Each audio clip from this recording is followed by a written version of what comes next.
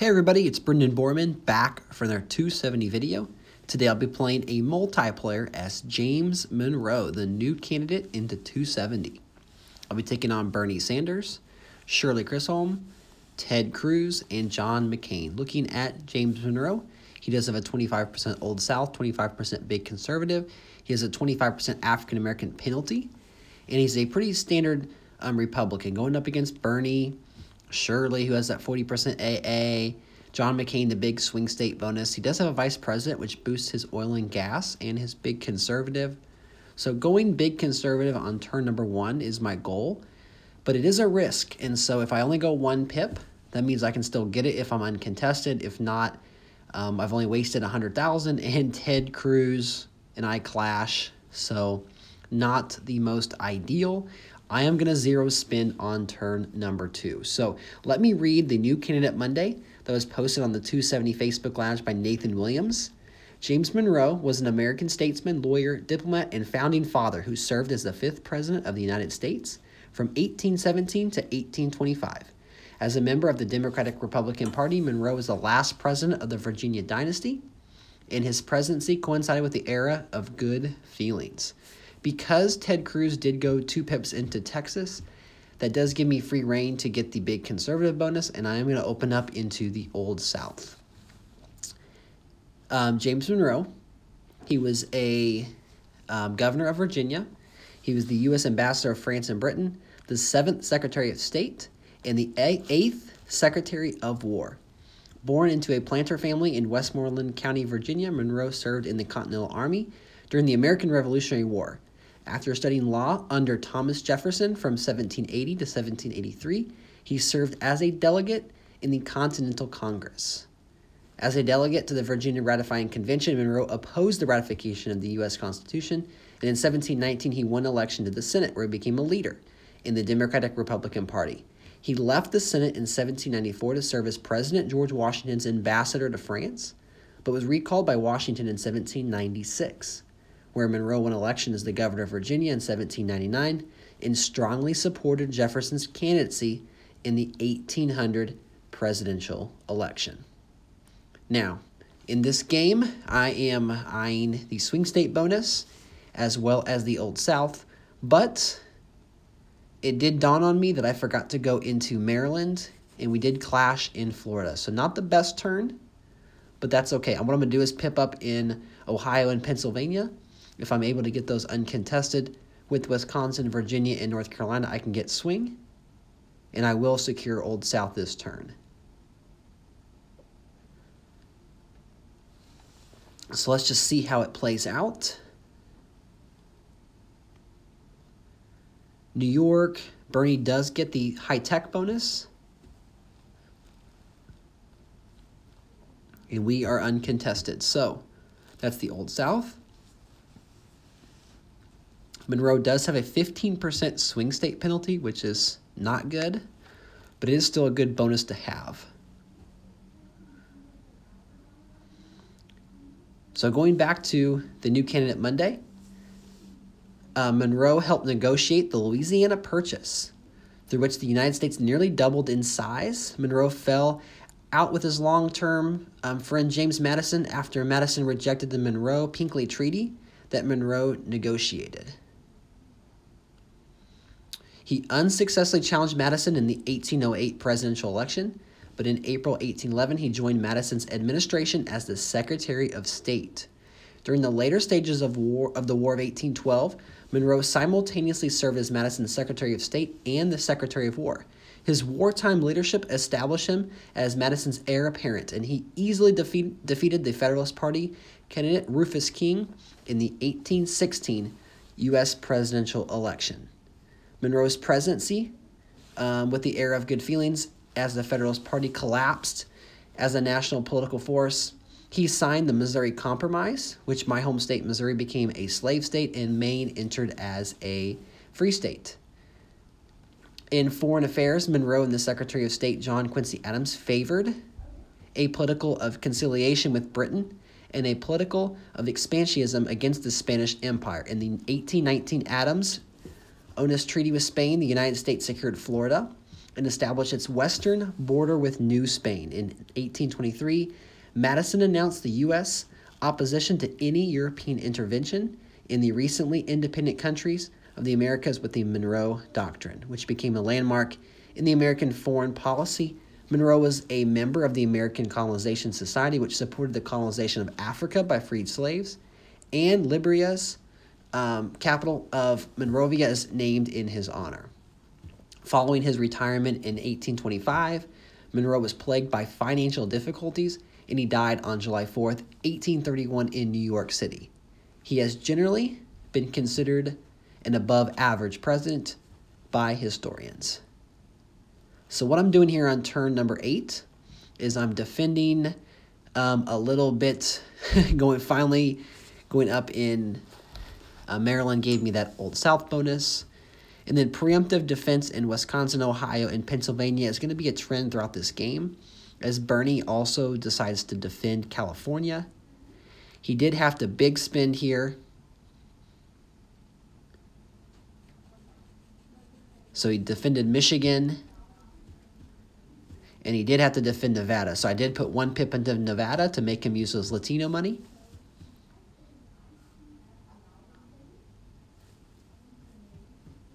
And the rest of this game will shake out as a pretty standard multiplayer.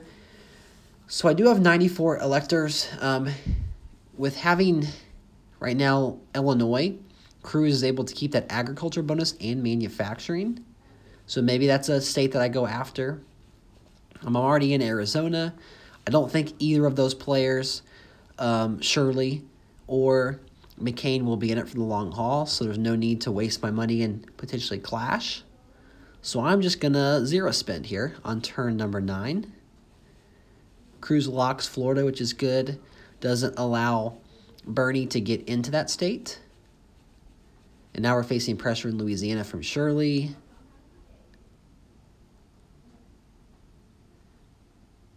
And pressure in Pennsylvania from Cruz. And double pressure in Wisconsin. So, gonna have to start spending some of my money here. Luckily for us, Bernie does not even have Town and Gown out of New York. So we are kind of slightly holding a 3 to 2 bonus lead. I'm going to defend Pennsylvania, defend and lock Wisconsin, and definitely defend Louisiana, which still leaves me over a million dollars. There will be a time where I pressure New York, especially California, but it's not that time. I am going to prioritize getting into Texas, but right now, Illinois is the big prize. So let's see if I can get in Illinois uncontested. Bernie did only spend 100. That might have been his, his uh, yep, there is Illinois.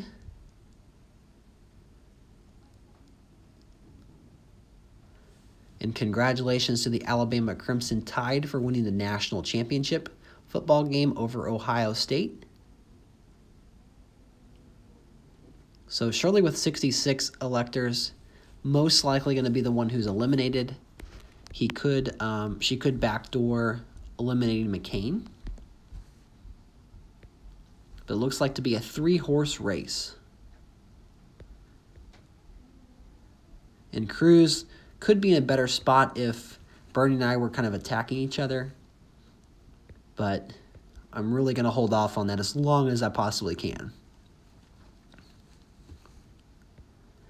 Going to enter into Washington, Iowa, just some more Iowa because I have the swing state bonus, but make Bernie spend his Latino money in New Jersey, make him use his high tech money in Washington. Another big spin by Bernie. Ooh, a big clash in Illinois. That helps out me tremendously. That opens up the path for me to take Illinois next turn because Bernie's going to have to defend some more of these states. So entering into Texas was a good move. And now Cruz will have to choose between defending Texas or defending Illinois. My money is that he defends Texas. So I'm going to lock Virginia, defend Maryland, defend Ohio with my swing. And then I'm going to go to the ninth pip in Illinois, just in case they there happens to be another clash, or if Cruz goes all the way in, in Illinois, that's fine. I'd rather, as long as Bernie doesn't get it. I could lock Pennsylvania still, but I think I feel pretty confident with this this move.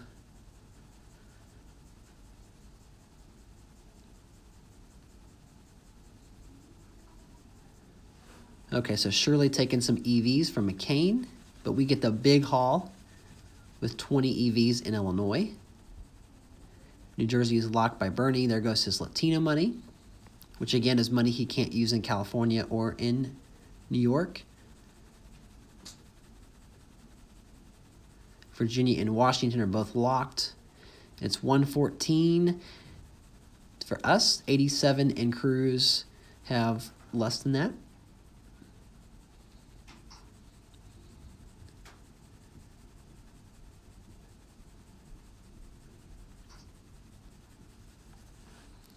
So lock Maryland. I'm surprised Bernie's not in Pennsylvania yet, but that's okay. And I think the time has now come for me to enter into California and maybe even New York.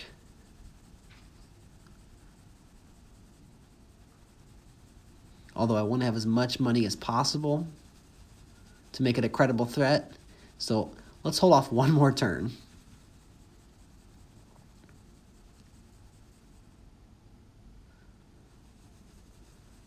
Connecticut flips to Shirley. We secure Illinois.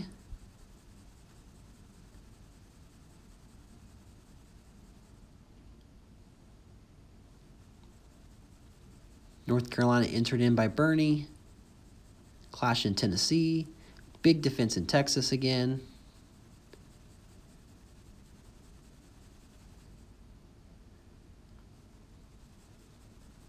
So that's the ballot. And there goes McCain. So that actually will help Shirley out the most. A lot of McCain's states are going to go to her. However, she's going to have a tough time winning. She might keep surviving, but Bernie and I have a pretty tight lock on our states.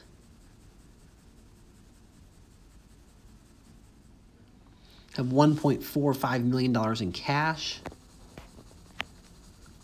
Okay, now is the time to pressure California and New York. Thought about locking New Mexico or Iowa.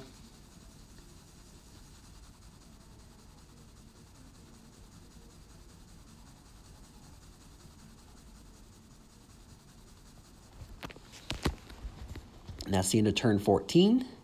Still just a town and gown bonus for Shirley. Ted Cruz kind of in no man's land, and now with $1.4 million, it is a guessing game for Bernie. He hopes that I will go for a big steal and we will clash. But what's going to happen is that I'm just going to keep low spending here. He does take Kansas. Defends New York by one. Oh no, and Cruz pulls off the Pennsylvania steal gets manufacturing and steals our swing state bonus. Good move. Zero excuse for me letting that happen, but now I need to, uh, because that's a big EV haul, I need to um, kind of get that back in the Old South. I'm going to go ahead and pip up to the third pip in Texas so that if Cruz is eliminated, I'll get that state. And then I'm going to make sure I'm entered into all of Cruz's states.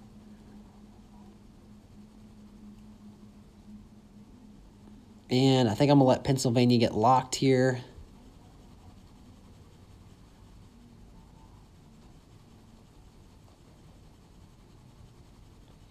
Okay, so no pressure in Georgia. Clash in Iowa with Cruz. Shirley Chisholm does forfeit, which opens the door for these open states, which maybe is not ideal because Cruz would have been eliminated um, a lot easier. Now he's got a path to some EVs, but I have a tremendous cash advantage, so I can't complain too, too much.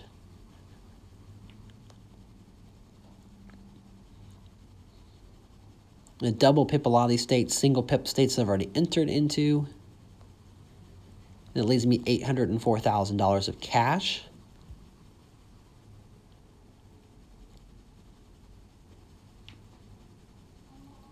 I could possibly get the swing state bonus.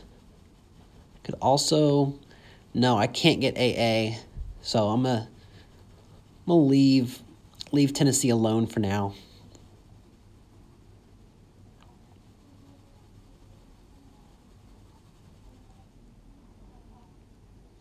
Okay, so California's locked. New York's not far behind. And now I'm going to go up in Colorado, Iowa, New Hampshire, all the old South states to get that African American bonus.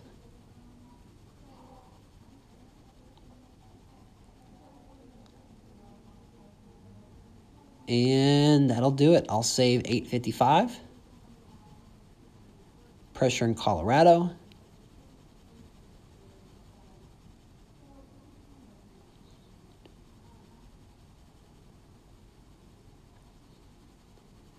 We get New Hampshire. Do we get Tennessee? We do. Okay, so we should get AA.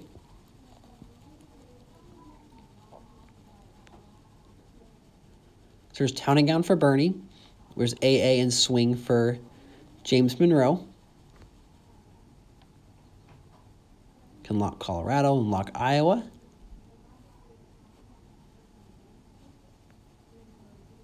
And then now it's just a matter of waiting until one person is eliminated and then taking an advantage. So once Cruz is out, I'll get Florida, I'll have Texas, I'll have Pennsylvania, and I already have 212 EVs plus all this cash. So I should be sitting pretty.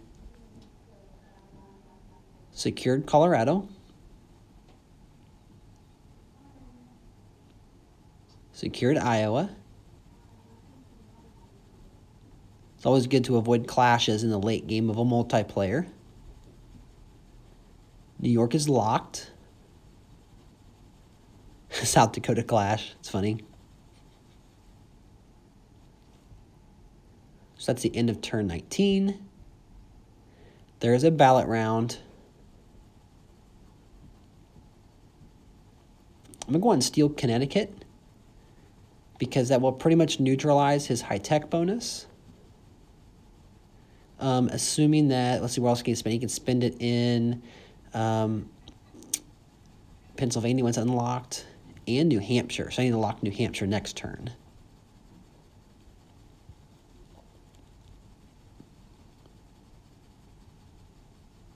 So this will be the end of Ted Cruz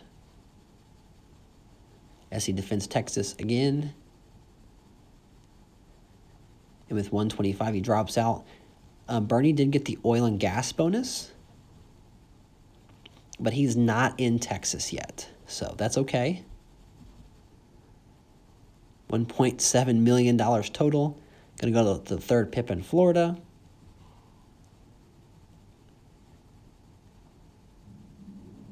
Going up in these um, states that are very low pipped, I need to lock New Hampshire. 1.1 million. We're going to get ag and export at the end of this turn with Florida and with Texas. And so here comes the pressure. But we do have enough funds to just lock it.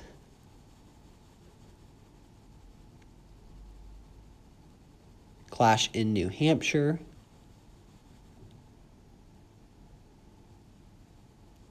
And then I let him enter all the empty states since we already have ballot access. And so that will create the final ballot.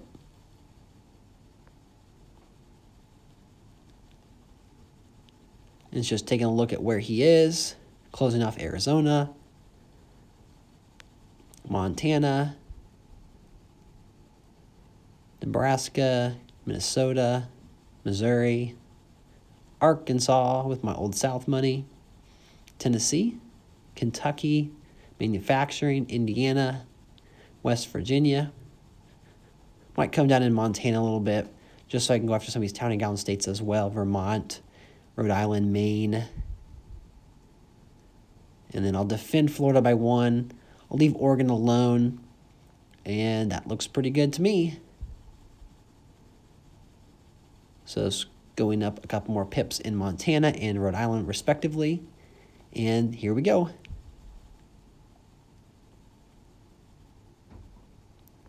I don't think Biden can flip anything here. We still Kentucky.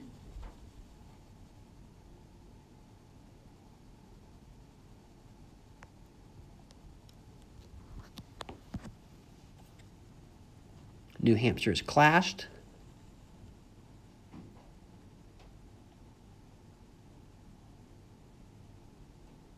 Vermont is James Monroe's. And West Virginia does go to Bernie Sanders. So, about final score of 339 to 199. James Monroe, the new candidate Monday, defeats Bernie Sanders. Congratulations to all the players, and thank you guys so much for watching. Don't forget to hit like and subscribe, and until next time, I'll catch you guys in the next 270 video.